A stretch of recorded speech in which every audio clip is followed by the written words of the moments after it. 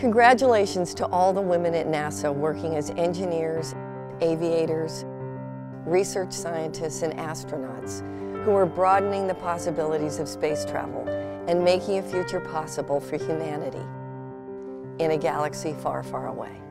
Thank you for inspiring and empowering today's generation of young women and girls to seek careers in the fields of science and technology and for your invaluable contributions to space exploration. May the Force be with you.